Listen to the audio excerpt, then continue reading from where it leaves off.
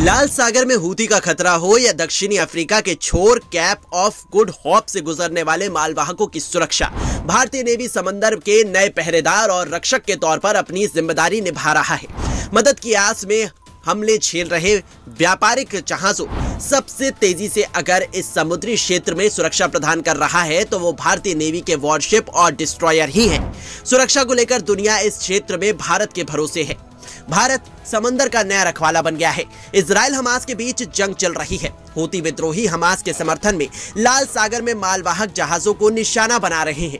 मालवाहकों की सुरक्षा के लिए अरब सागर में तैनात भारतीय नौसेना की डिस्ट्रॉयर आईएनएस कोची और आईएनएस कलकत्ता, मोरमुगाई, अदन की खाड़ी से गुजरने वाले मालवाहकों को न सिर्फ़ सुरक्षा प्रदान कर रहे हैं, बल्कि हूती के हमलों का जवाब भी दे रहे हैं। हूती के हमलों का जवाब देने के लिए मालदीव से तनातनी के बाद भारत ने आईएनएस जटायु को कमीशन दिया है।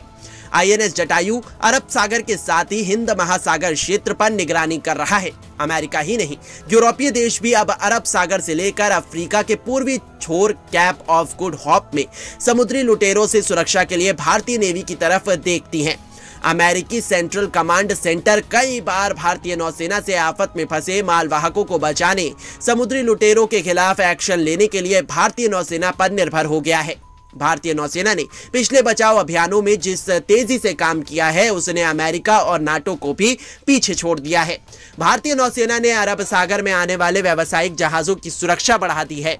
इसके लिए सेना ने अरब सागर में चार वॉरशिप तैनात किए हैं। यह फैसला 23 दिसंबर को सऊदी में भारत आ रहे जहाज़ पर हुए ड्रोन अटैक के बाद लिया गया।